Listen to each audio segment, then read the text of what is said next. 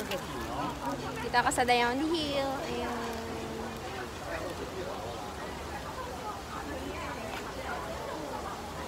Kaming tayo din yun. Magaganda yung mga ano, garden nila.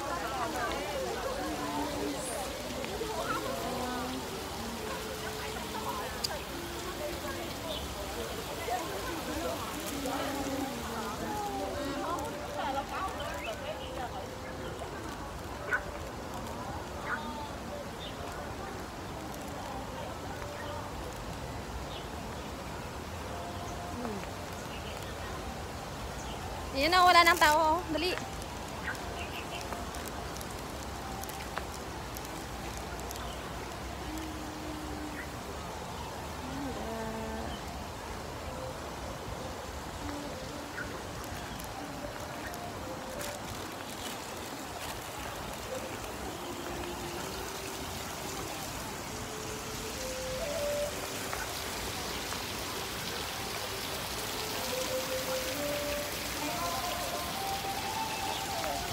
Ganda ang garden nila dito.